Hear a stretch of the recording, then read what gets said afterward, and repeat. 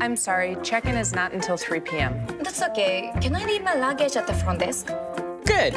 荷物を預けると言いたいときは leave の他にもいろんな単語が使われます。Visit AEON's website. May I have a room on the higher floor? Certainly. Here's your room key. Is there anything else? I'm good. Enjoy your stay. Thank you. 気がつくと学んだフレーズが私のものになってるレッスンの手応え感じてます I did it on my own. I did it on my own. ここから英語が好きになるいい音で始めよう。